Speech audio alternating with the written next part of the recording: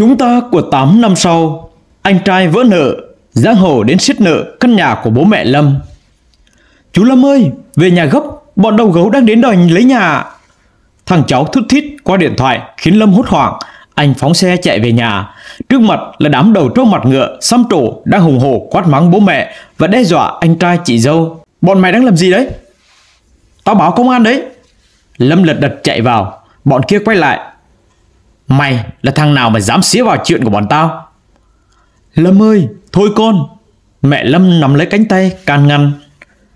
À, mày là con trai của bà?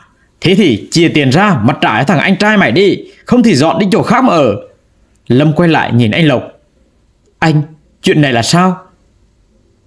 Lộc nhăn nhó cúi mặt xuống lảng tránh ánh mắt của Lâm Dự án kia anh bị lừa mất trắng rồi Giờ đến ngày trả lãi cho bọn này mà anh chưa tìm đâu ra cả. Sao lại thế được? Em đã bảo anh chị rồi mà. Anh chị đâu có nghe?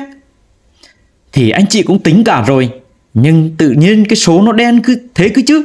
Chị dâu già mồm lên. Chị dâu già mồm lên tiếng kêu than. Thôi, không nói nhiều nữa. Bây giờ ông bà tính thế nào? Một là xìa tiền ra, Hai là dọn đi chỗ khác mà ở. Mấy thằng đầu trọc hất hàm hỏi. Lâm chạy lại xô bọn chúng ra. Đây là nhà bố mẹ của tôi.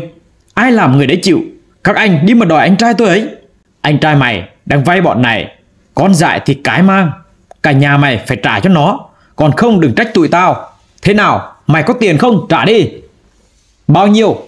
Lâm nghiến răng nhìn bọn chúng. 3 tỷ tiền gốc và 200 triệu tiền lãi, không thiếu một xu. Lâm nhìn bọn chúng đầy bất lực, số tiền lớn như vậy anh xoay đâu ra? Thế nào? Không có đúng không? Tao cho cả nhà mày đúng 3 ngày nữa bọn tao quay lại, nếu không có nộp thì dọn đồ đi luôn đi. Bọn chúng ra xe bỏ về để lại cả gia đình một không khí ngột ngạt đầy cay đắng. Vậy là đúng như Lâm lo sợ, cuối cùng thì anh Lộc cũng đã sập bẫy vào dự án Moon Blue lừa đảo và giờ đây mất trắng. Số tiền 8 tỷ kia giờ cũng không xoay đâu ra. Căn nhà của bố mẹ anh trai cũng đã cầm cố ngân hàng. Giờ đây, cả gia đình không biết phải làm sao. Lâm cay đắng nghẹn ngào và bất lực khi thấy bố mẹ và anh trai gặp chuyện mà không thể nào ra tay giúp đỡ. Liệu rằng Lâm sẽ làm cách nào để có thể giải quyết được chuyện này? Liệu rằng chị gái Ái Phi có thêm một lần nữa xuất hiện và giúp Lâm Đồng thời ra điều kiện cho Lâm phải lôi bí mật quá khứ của ông Quảng ra hay không hay chỉ ông Quảng sẽ ra tay giúp đỡ cho Lâm.